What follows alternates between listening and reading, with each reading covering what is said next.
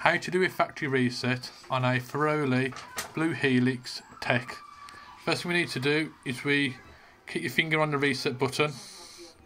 You get a little squiggly Tetris sign. When the screen changes, let go of the button. Then we're going to put a code in, one, two, three. The left button twice to two. The right plus button, press it three times. That's the code, one, two, three. Press the reset button. So you go to TS, transparent parameters. Press the reset button again. Now we're going to go to parameter B29 by pressing the left plus button. If you keep your finger pressing the button, it goes faster.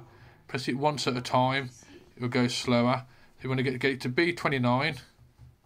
This is for a factory reset, and this will get rid of a lot of problems on the boiler. I'm going to press the right plus button. It will show zero. And you want to get that to number 10. There you go. Then, then we press the left plus button to enter it. Then keep your finger pressed on the reset button. You get a little Tetris squiggly line. When you see the screen change, let go of the button. There you go, screen change, let go of the button. Now we need to turn it off for 10 seconds at the power. And it'll start itself up back up again. So leave it for about 10 seconds.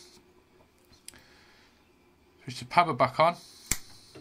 Get your finger pressed on the off button. When it all lights up, let go. Then you'll get capital FH come on. This will take about 20 seconds instead of about 5 minutes when it's got small FH.